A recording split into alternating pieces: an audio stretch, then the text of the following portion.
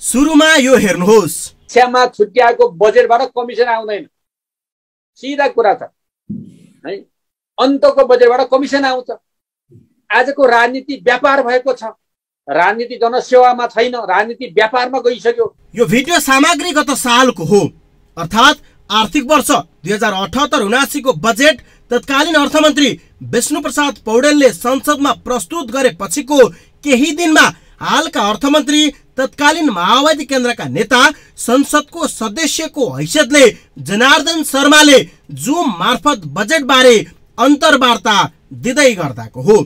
अर्थमन्त्री शर्माले प्रश्नसँग भनेका छन् सरकारका अर्थमन्त्रीहरूले कमिसन नआउने भएर नै शिक्षा र स्वास्थ्य क्षेत्रको बजेट कम विनियोजन गर्ने गरेको भनेर। राजनीतिक कोर्स परिवर्तन भएपछि उनै शर्मा अहिले अर्थमन्त्री पनि छन् र आर्थिक वर्ष दुई हजार उनासी असीको बजेट पनि संसदमा प्रस्तुत गरिसकेका छन्। तर पुरानो अन्तर्वार्ताले उनी विवादमा तानिए। उनले एक वर्ष अघि बोलेको कुराले उनलाई विवादमा तानेको मात्रै छैन।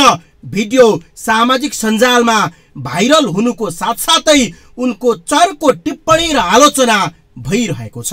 उनलाई आरोप छ कमिसन नआउने भएर नै तपाईँले पनि स्वास्थ्य र शिक्षा क्षेत्रमा बजेट कम छुट्याउनु भएको हो। शिक्षाको बजेट त बिस प्रतिशत हुनु पर्थ्यो स्वास्थ्यको बजेट बिस प्रतिशत हुनु पर्थ्यो।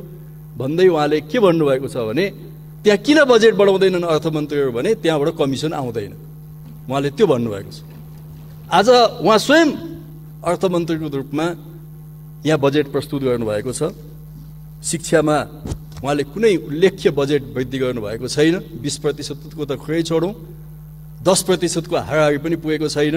अब म अर्थमन्त्रीजीलाई नै सोध्न चाहन्छु के साँच्चै कमिसन नआउने भएर शिक्षा स्वास्थ्य जस्ता क्षेत्रहरूको बजेट कटौती गर्नुभएको हो त?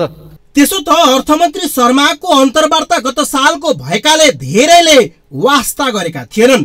तर प्रमुख प्रतिपक्षी दल नेकपा एमालेका सचिव तथा सांसद योगेश कुमार भट्टराईले भिडियो प्रकरण संसदको रोस्टममै कमिसन नआउने भएकाले शिक्षा र स्वास्थ्य क्षेत्रको बजेट कटौतीको आरोप अर्थमन्त्री जनार्दन शर्मामाथि लगाएपछि शर्मालाई आफैले बोलेको कुरा गलपासो भनेको हो। शिक्षामा छुट्याएको बजेटबाट कमिसन आउँदैन।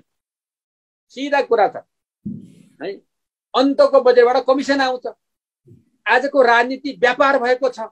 राजनीति जनसेवामा छैन राजनीति व्यापारमा गइसक्यो। संसदमा सांसद भट्टराईले अर्थमन्त्री शर्मामाथि प्रश्न गर्दा उनको हाउभाउ पनि हेर्न लायक थियो अर्थमन्त्री शर्मा तिनै व्यक्ति हुन्। जति बेला उनी सरकारमा थिएनन् उनले कम्तीमा स्वास्थ्य र शिक्षा क्षेत्रमा बजेट बिस बिस प्रतिशत विनियोजन गरिनुपर्छ भन्दै चर्को स्वरमा भन्दै आएका थिए। तर उनी सरकारमा आए।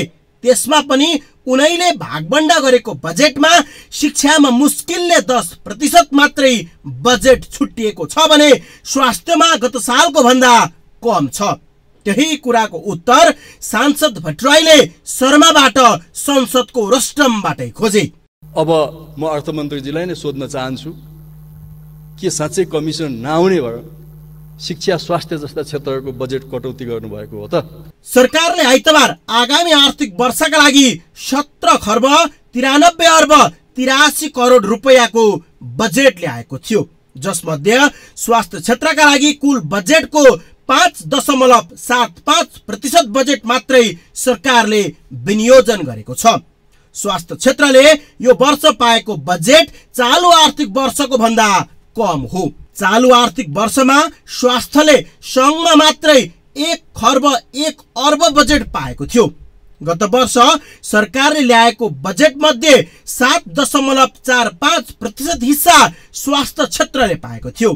यसरी बजेट घट्नु र अर्थमन्त्रीको विवादित भिडियो सामग्रीमा किन घट्छ बजेट भन्ने प्रश्नको उत्तर पनि स्पष्ट हुनुले यसपटक स्वास्थ्य शिक्षामा बजेट कमिसन नआउने भएर नै पो घटेको त होइन भन्ने प्रश्न जोड तोडका साथ उठिरहेको छ।